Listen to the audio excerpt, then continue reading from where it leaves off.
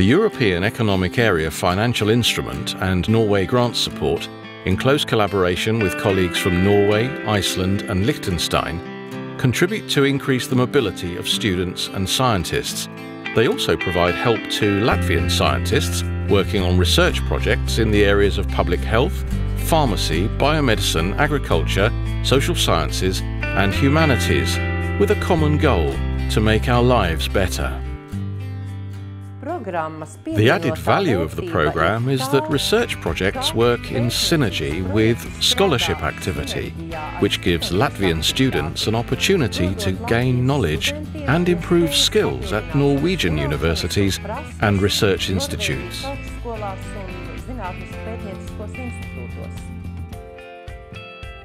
5.4 million euros have been invested in research and mobility development, of which 4.4 million euros is in research projects and 1 million in mobility projects.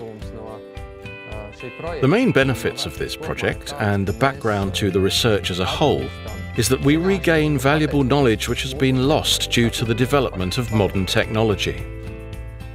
Medical waste is a serious problem in Latvia and we have to take action in order to avoid these substances getting into contact with people and the environment. We mostly carry out fundamental science research, therefore the results will not be available straight away, nor will the immediate outcome be new medicine, new means for diagnostics or any other new product. However, this knowledge will be essential for producing new medicine and new products in the future. The world population gets older and older. There will be more Alzheimer patients in the world. Our main goal is try to find a therapy to cure those people.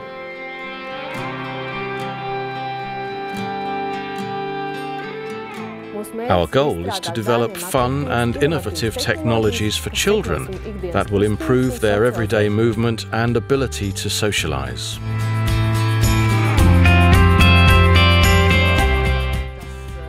This is a unique, original and ambitious project because nothing based on the fundamentals of science like this has ever been done in the Latvian language.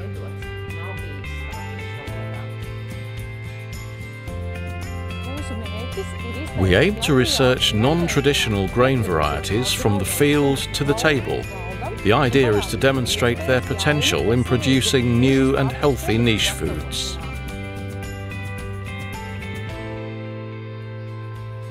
The research problem we are pursuing is the governance of education in rural areas of Latvia and Norway which suffer from depopulation. The results that we aim to achieve are ways to improve the governance of education, ways to improve cooperation among the partners involved, and a healthy discussion on the alternatives to closing schools. We are happy to Norwegians for, for supporting this project and I think it's very good. I would like to see more of these uh, cross-national projects where colleagues from different countries meet and, and uh, cooperate.